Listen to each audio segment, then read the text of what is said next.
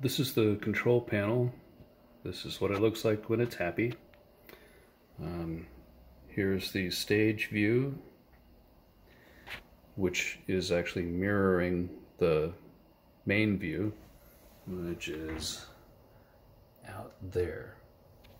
Now, in the viewers, if we want this to show the next slide, what we have to do is go up here to settings and then to the viewers, click on the stage, click main next.